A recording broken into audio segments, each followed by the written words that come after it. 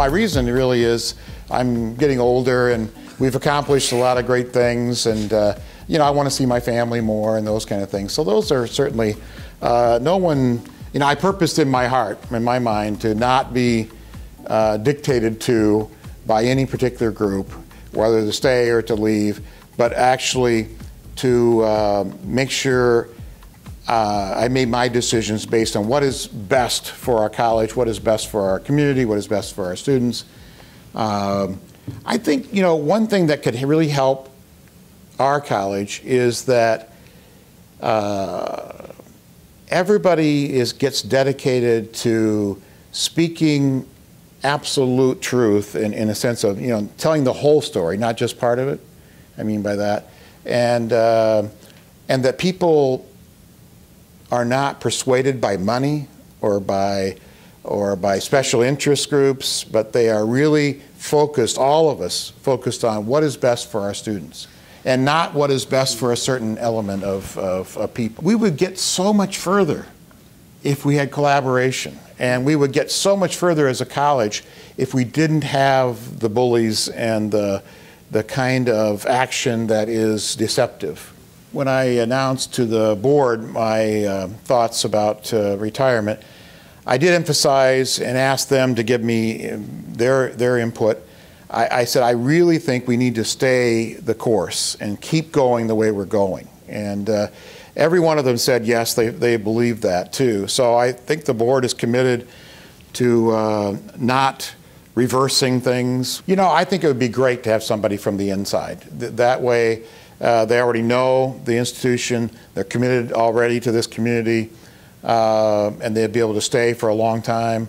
So I would certainly uh, love to see uh, somebody from, you know, one of the VPs take over. Uh, we need to stay the course. There's where there's a lot of advantages to having one board, but there's some disadvantages to it as well. And I committed to having one board, and I've been very collaborative in that regard. I appreciate Glenn Maleyko, and, and uh, I've, uh, he's invited me to build uh, CPI teams for them. I did that at no, no cost to the district. Don, don, donate my books to this college as well as to the district. To my knowledge, we're the only college left that has one board for both the P12 and for the college. And we are the third largest community college. We're also, I'm told, the third largest P12 district in the state. So that's a lot for any board to handle.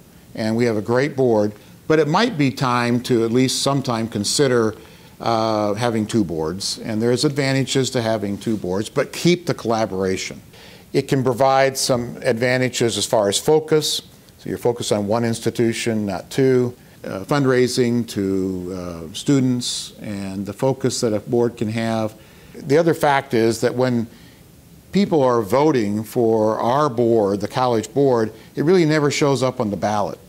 It's a, it's a P12 vote, and for it to become a uh, trustee of the uh, uh, P12 district. It's a big job, and our board does a terrific job at it, but it might be something to think about. One of the things that may cause a real friction in the near future is uh, I, am uh, well involved in, in Lansing and, and state government, is that uh, I was just told last week that uh, the P12 districts, the, you know, are going to really uh, be much more aggressive in going after monies that are now dedicated to community colleges.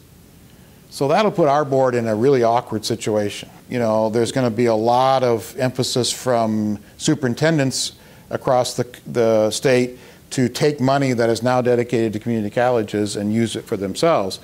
Uh, that would be a great conflict of interest for our board, obviously. They, they represent both. And so our board will be straddling a very uncomfortable fence at that point. I want to emphasize, you know, our board members uh, do great by me, and I appreciate them. They've been great uh, to our college. It's not that. One of the really great things I think that has happened is uh, giving a voice to everybody on campus. When I got here, there was only a small number of people that really had a voice.